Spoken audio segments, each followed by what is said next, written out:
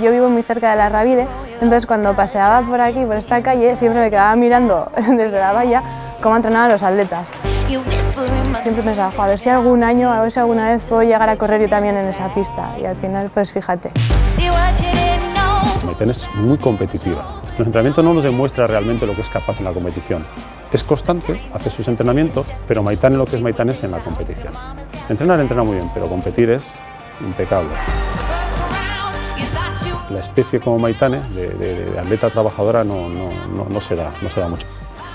Los atletas de ese nivel se dedican a descansar, a alimentarse bien y a entrenar bien. Y Maitane pues tiene que dedicarse a cuidar a su hijo, a trabajar, a sacar un rato para entrenar. Sí que lo hacemos las cosas bien, pero dentro de los tiempos que tenemos. Me gustaría de alguna manera poder ser un espejo, porque yo al final mi vida nunca la he enfocado al deporte, entonces creo que mi vida puede ser muy similar a la de cualquier otra mujer que practica deporte, además de tener su trabajo, su familia, entonces sí que creo que puedo ser una especie de, referente, o no, no sé llamarlo referente, pero sí que es que soy una, persona igual que las demás. No sé cómo definirte, Maitane pues igual es un cúmulo de valores que por eso le hace estar donde estábamos.